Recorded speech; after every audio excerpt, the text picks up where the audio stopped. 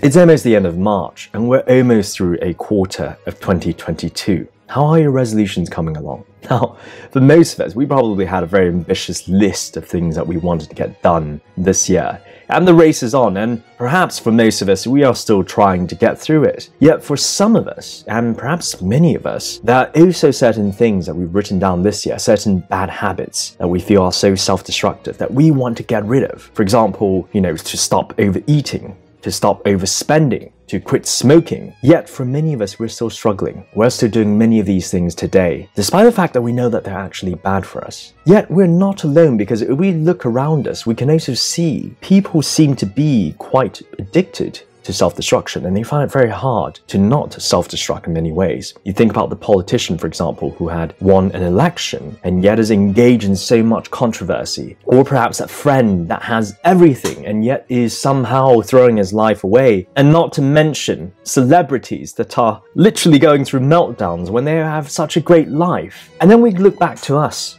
there's so many things that we do in life that we know are bad for us, yet we just can't help but stop. Why is it that we can't seem to escape self destruction? Is it because there's a part of us that's intrinsically sadistic, perhaps? And I thought this would be an interesting topic for us to look at today. Are we addicted to self destruction? While we aren't the first people to really think about this. One of the most prolific thinkers to actually tackle this question is the famous macabre writer Edgar Allan Poe. Now, if you know of Poe's work, you know he's written all these really amazing stories, especially of a gothic horror sort. And we can tell that this person has a sort of dark vibe about him. But perhaps for many of you who've never heard of Edgar, or for those of you who don't know his personal life, he's had a rather interesting life. For example, he once had to go to Washington, D.C. to try and raise awareness and potentially finances for a magazine, and potentially also a government job. But when he actually went there, he got drunk and totally messed up his meetings. He got into a long war with the famous American author Henry Longfellow, and they would have these heated exchanges, which became known as the Longfellow War. He had horrible relationships with editors, with writers in the literature circles. He was just a complete mess, totally self destructive. And for most of his life, he was actually doing very badly, never really had any successes. And then finally, when he released one of his most amazing works, The Raven, which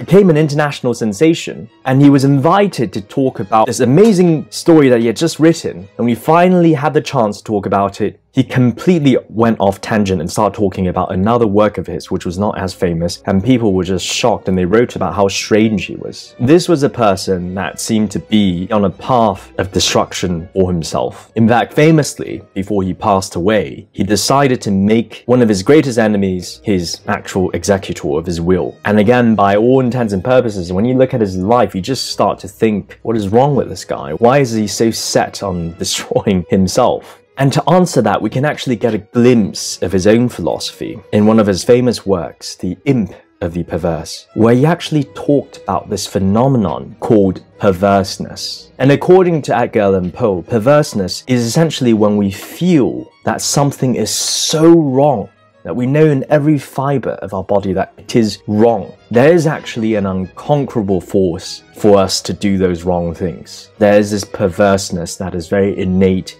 in human beings. And Edgar Allan Poe certainly believed in it, at least in the way that he actually lived. He seemed to do everything that was destructive. And what Edgar Allan Poe did, really, I think, is one of the first accounts that we've ever had of a person really looking at why we are so addicted to this self-destruction. But of course, Edgar Allan Poe was not a scientist. He wasn't a psychologist. He didn't have a scientific method of actually at, looking at it. But he certainly identified this phenomenon that we are talking about today. But eventually, psychology would take a look at it. And the first prominent figure to really look at it was actually the father of psychology, Sigmund Freud. Now, according to Freud, in his 1919 essay, Beyond the Pleasure Principle, which is a great theory that I've talked about in some of my previous videos, Freud also noticed that people had tendencies to destroy themselves, whether it is an addiction that they had or certain totally irrational behaviors that seemed to lead to very ill consequences for the people. And Freud would come to identify these tendencies as a death drive. Essentially, for Freud, this is an innate and unconscious part of us that somehow is driven to our demise demise, in almost a very literal sense of the word, if we were to really keep engaging in many of these tendencies, whether it is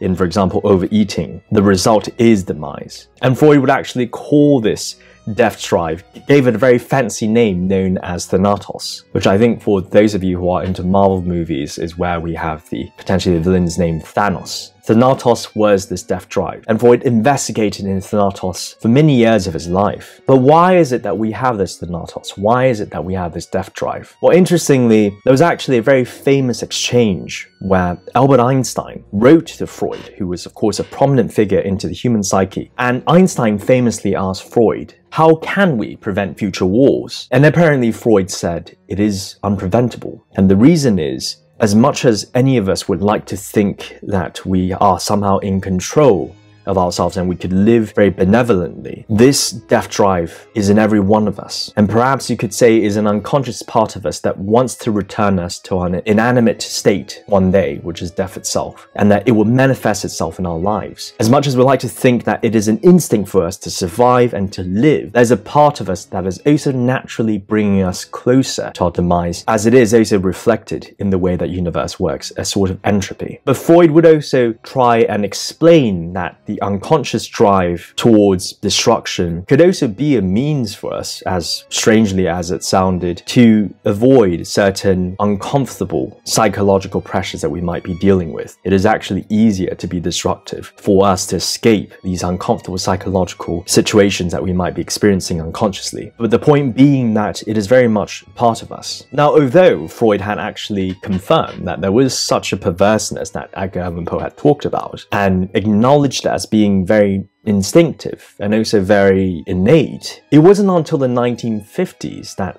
psychology really looked into it from an experimental perspective. Because in the 1950s, what we had was really a cognitive revolution when psychologists and also neuroscientists would look into our minds and see how it worked. And whilst they identified this self-destructive tendencies that we had, they came to a rather different conclusion than Freud rather than see it as being an unconscious instinct that we had that could at most be explained as some sort of unconscious human behavior towards just death itself. They started to really look into why these tendencies happened and how it interacted with our brains. And it was in the 1980s that we finally had a more substantial answer from psychologists Roy Baumeister and Stephen Scher. And what was really interesting is that they identified that self-destructive tendencies were not really so much this abstract manifestation that Freud had talked about, or really indeed some perverse dark nature of human beings as Edgar Allan Poe had identified. Rather, it was actually an issue with our deductive and cognitive reasoning. You see, Baumeister and Scher identified three types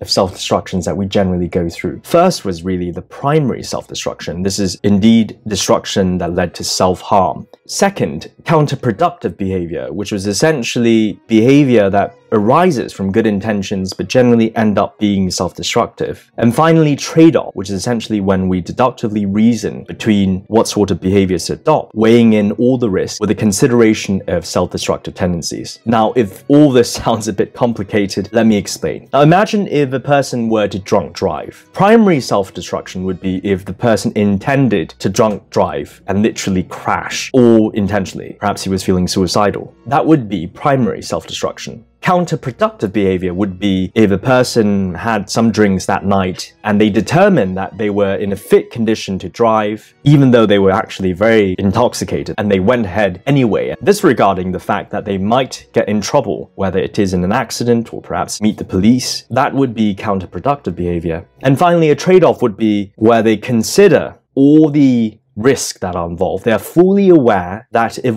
they were to drunk drive, they would potentially get into some self-harm. Yet at the same time, they are considering perhaps for some reason they need to get home quickly and they can't wait, so they went ahead anyway. Now, what is very interesting according to psychological research is that primary self-destruction is actually very rare. Most of the times when we see self-destructive behavior, they generally aren't intentional Of course, there are people out there that might be intentionally self harming themselves, and it is very unfortunate people who might be feeling perhaps suicidal. But generally, in psychological research, most of the self harm that we see has not actually resulted from primary self destruction. Rather, most of it actually results from counterproductive behavior. Most of the times when we are engaged in self destruction, we are completely unaware of the self-destructive potential of our behavior. Or perhaps we are aware of it, but we underwrite it substantially. For example, in the case of overeating, most of the time we aren't thinking about the potential disbenefits of overeating. We don't think about the impact it has on our health, or if we do think about it, we underwrite it. We focus on